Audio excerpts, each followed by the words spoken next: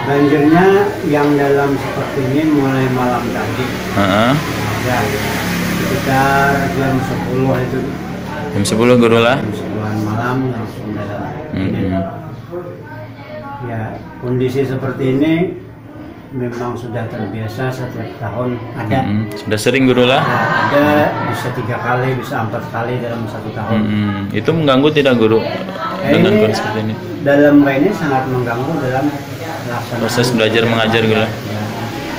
Ini harapan kepada pemerintah ya mudah-mudahan ada perhatian terhadap nah, kami yang dalam keadaan kebanjiran ini.